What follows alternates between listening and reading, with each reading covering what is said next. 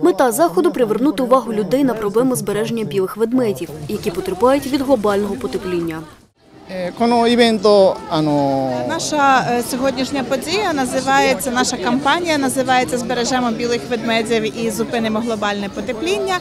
І е, наша одна із наших цілей також поглибити е, зв'язки, дружні зв'язки між Україною та Японією. І саме тому ми сьогодні відвідали Миколаївський зоопарк.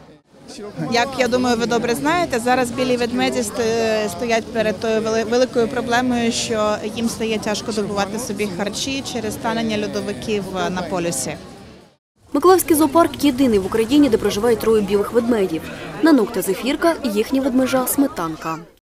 У нас сейчас содержится пара взрослых. Це пара дорослих ведмедів і дівчинка, яка у нас народилася. Ось їй незабаром вже два роки. За програмою вона має виїхати до Китаю, а натомість вже отримали жирафів. І якщо вийде вирішити на рівні міністерства в Києві, то привеземо і слонів. На захід прийшли близько двох сотень містян. Всьому живому на нашій планеті потрібен порятунок, е, тому що людина багато шкодить е, живим істотам. От. А білі ведмеді в нас е, нездавна з'явились в Миколаївському зоопарку. і Ми всі з задоволенням ходимо на них дивитись і слідкуємо за їхнім життям. От. Вони плаває. А м'ячиком грається на ну? Так. А як звуть е, маму ведмедицю? Сметанка. Ні, це дівчинка, це їхня дочка, так? А мама? Зіфилка. От. Японська делегація привезла для ведмедів подарунки трьох товстолобів. Для них это привычная пища. Они Для них це звична їжа. Вони дуже люблять товстолоба, розбирають його буквально до останньої кісточки. Особливо коли риба така ось велика, це свого роду і збагачення навколишнього середовища. Є чим зайнятися і розібрати її по частинах.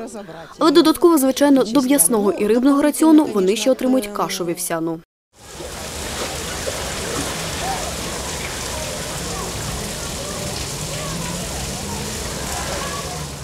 Подивитися на білих ведмедів з мамою та братом прийшов 12-річний Артем Жоржа. Ця тварина для хлопця серед найулюбленіших. Я бачив, як вони дуже хотіли спіймати рибу з води, коли їм кинули, та потім її з'їсти. Мені подобаються білі ведмеді, тому що вони хижаки, сильні, дуже гарні та е, це рідкість, їх рідко можна побачити, тому що вони живуть на полюсі. Світлана Кльосова, Сергій Куропятник. Новини на Суспільному. Миколаїв.